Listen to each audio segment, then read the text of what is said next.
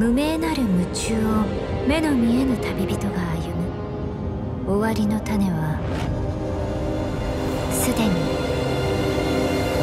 芽吹きを見せている。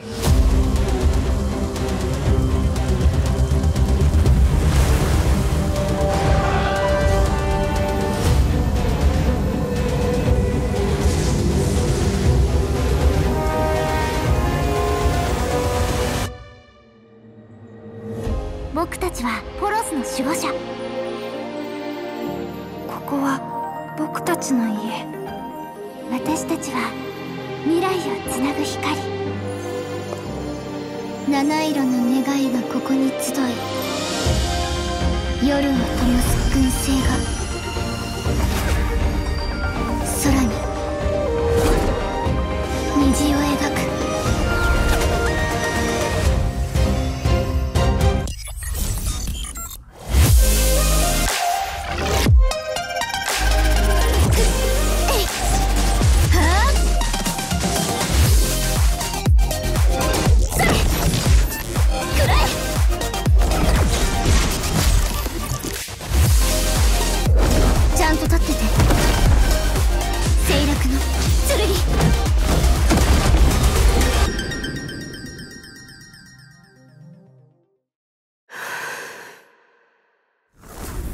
みんなの決意受け取りました舰长们，大家好，欢迎来到《崩坏 Third》七点一版本修伯利安会客厅。舰长们好啊！看了刚刚的版本 PV，不知道舰长们有什么想法呢？版本 PV 消息量好大，伽罗罗形态终于要出现了吗？而且洪水都要蔓延到家门口了，下雨声、紧张的音乐、要素拉满， 有种大战一触即发的感觉。具体发生了什么事情？稍后的主线介绍环节再来揭晓。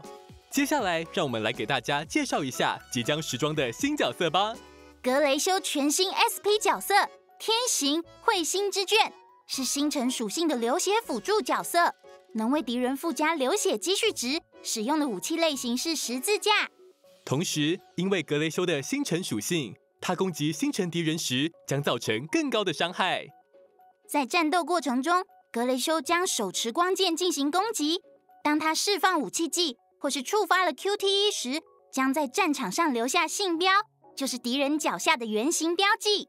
当信标在场时，普攻四连击和 QTE 命中敌人，可以回复自身的核能。格雷修分支攻击命中，也能回复核能。面对星辰敌人时，还能利用分支攻击吸收全场星辰残核，并强化本次攻击。这个赫能具体是做什么用的啊？简单来说，赫能其实就是我们角色常见的动能条。格雷修处于队伍中时，为全队角色附加星辰领航状态，队友消耗星辰残核，对敌人生命上限造成的伤害提高。当核能充满且场上存在信标时，格雷修就能消耗全部核能，发动特殊武器技。特殊武器技可以使信标范围扩大，同时禁锢范围内的敌人。紧接着，格雷修召来一块陨石从天而降，打击信标范围内的敌人，造成物理流血伤害。释放特殊武器技后，短时间内点按必杀技按钮，可以释放必杀技。陨石从天外降临，他挥动手中的光剑，在陨石落地前斩击，引发爆炸。熔融的陨石可以对范围内敌人附加流血积蓄值，同时可以提升全队角色造成的最大流血层数。在七点一版本更新后，格雷修角色的全新武器游航的定锚、超限武器游航的定锚新之旅也会同步时装。这把武器也不只是维尔维赠予他的礼物，它更是格雷修从小画家蜕变成星际旅行家之后，将童年梦想和长大后的使命融合之后的产物。新角色推荐圣痕套装《此生痴狂》也即将上线。这套圣痕展现的是梵谷绘画生涯的三个阶段。格雷修这个角色的内核设计也有不少向梵谷致敬的要素，确实是很契合格雷修画家的身份。感兴趣的舰长可以通过补给管道获得这套圣痕。介绍完角色的资讯，又该回到主线剧情的环节了。在主线四十二章《横跨整个一点五部主线的幕后操作者梭终于走向前台，而格雷修和浮华又会怎么直面这位神秘的敌人？舰长们记得来主线亲自体验哦！还有久违的老朋友会露面哦，大家可以期待一下。全新的 BOSS 战也将开始，这次将会从一场暴雨开始，梭就隐藏在天空的暴风眼之中。浮华和格雷修需要从地面抵达天空，正面击破梭，来阻止这场大洪水。在整个 BOSS 战中，舰长可以操作浮华的不同形态来应对梭的攻击，而格雷修则会持续辅助浮华，及时给予支援。在战斗开始的时候，格雷修用画笔给浮华开辟了一条道路，让浮华可以穿过乌云前往暴风眼。在那之后，浮华和格雷修会抵达暴风眼，直面梭。在这个阶段，梭会以一星三货的形态出现。这三个货杖之间会互相协作。身处前方的货杖会向地板造成大范围的强力攻击，后方的货杖则会吟唱，发射跟踪弹，对浮华造成远程攻击。而这三个货障还会切换状态，前方的货障增加。从而更密集的发动大范围声波攻击，同时后方的货障还会向浮华发出远程炮弹。在此之后，三个货障同时协作，针对浮华发动特殊的镭射攻击。此刻，当舰长获得格雷修给予浮华的支援护盾，则可以让护盾折射镭射，并瘫痪后方的货障一段时间。而这些都只是缩的初始阶段。在 BOSS 战的后半段，还会出现他仿造创世神概念的形态。他抛弃了肉身，渴望成为重新制定世界法则的神。但是此刻，浮华怀揣着自己的信念，站在了梭的对立面，而幕后还有不止一双眼睛注视着这片战场。到底会发生什么？就请舰长敬请期待四十二章的内容啦。除了主线之外，七点一版本限时活动星海舷梯也将开启。舰长将参与方舟驾驶员模拟训练，通过通行指南、星云跃迁和星系演化三个不同的训练模块，掌握如何驾驶这艘巨大的太空船，穿越层层挑战，拥抱无限群星。进入方舟后，舰长可跟随流动的引导线前进，抵达位于不同舱室的训练点。舰长将可能遇到战斗、补给和随机事件三种不同的训练点。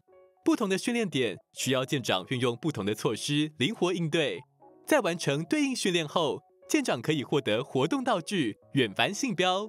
战斗耗时越短，获得的信标数量就越多。除了常规的通行指南训练模块、星云跃迁与星系演化训练模块，还分别加入了彗星降临与日冕风暴两种特殊天气环境，用来针对性的提升驾驶员的风险应对能力。我们还为舰长们准备了许多获得增益效果的有趣玩法。在训练过程中，如果遇到补给类训练点，舰长可以随机获得一个痊愈增益，而且这项增益会在挑战结算前持续生效。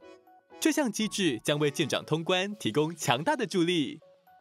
在进入战斗训练之前，舰长可以点击获得临时增益，通过轮舵调转或线缆通联，都可以获得增益效果。助力下一次的战斗，在部分挑战中可以同时获得多个通路奖励。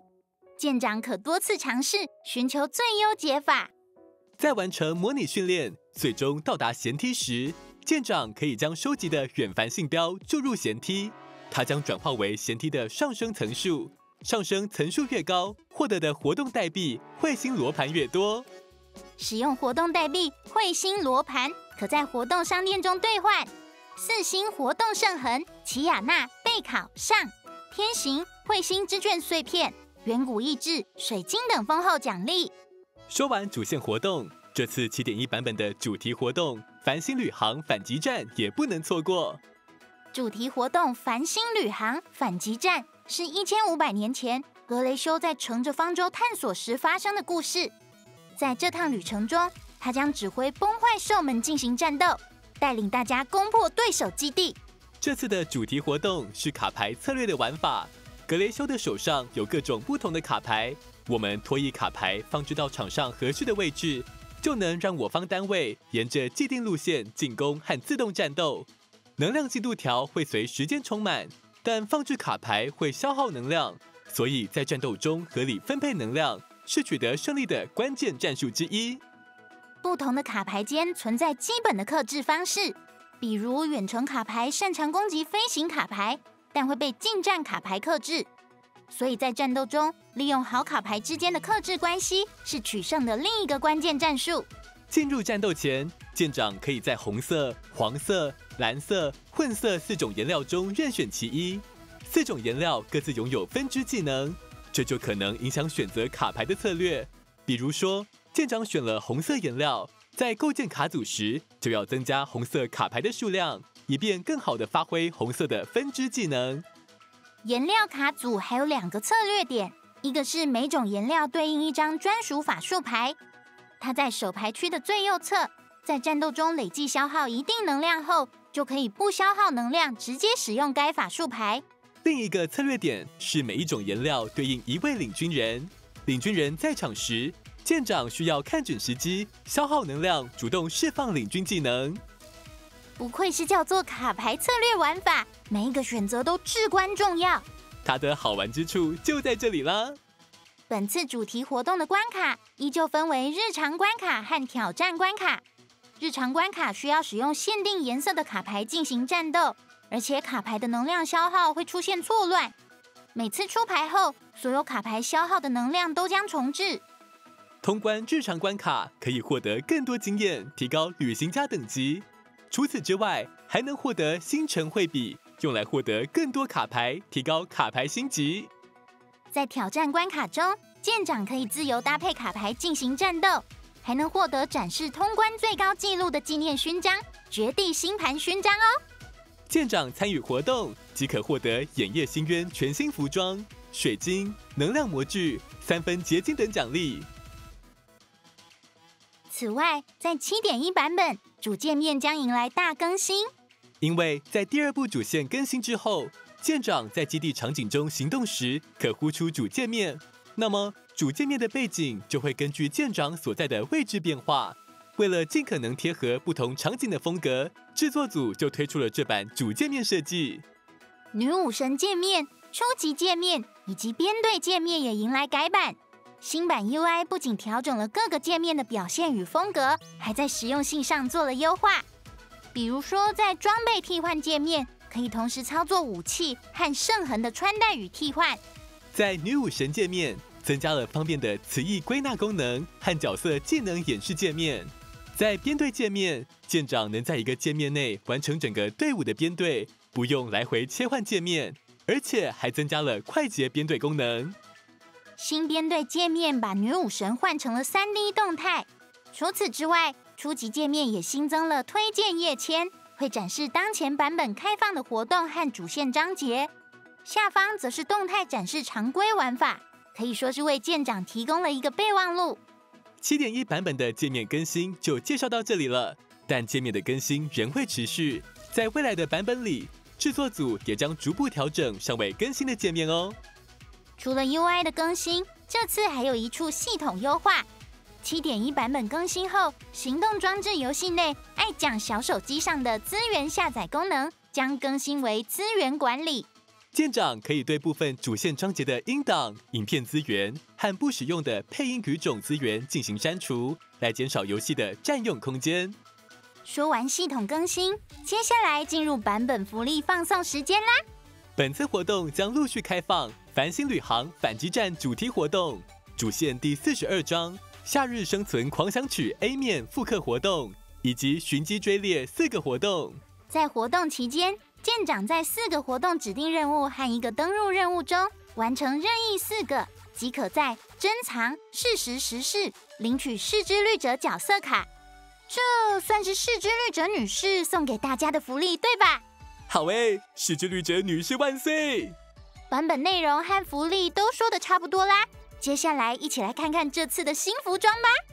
首先是死生之律者试用服装七羽永夜，相比初始装扮，这次选用了具有较强对比感的黑色和蓝色，来体现死和生的感觉。这套服装的设计很细节啊，礼服中间的装饰粗看像彼岸花，细看会发现原来是玫瑰花缠着丝带。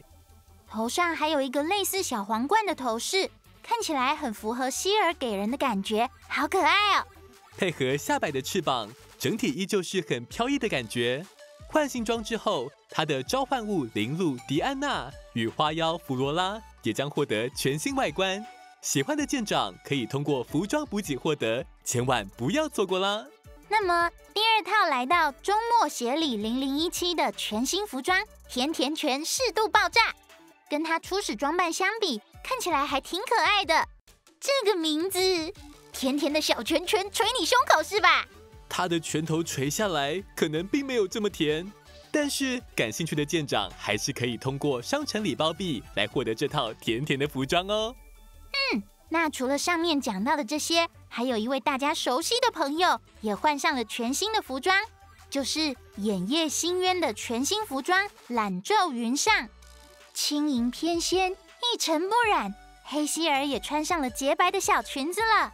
虽然穿上了一身白衣，但他腹黑的风格也还是要凸显的。美术老师在他肩膀和手腕处还是点缀了一些黑色的装饰。这么好看的希尔服装，我要第一时间拥有。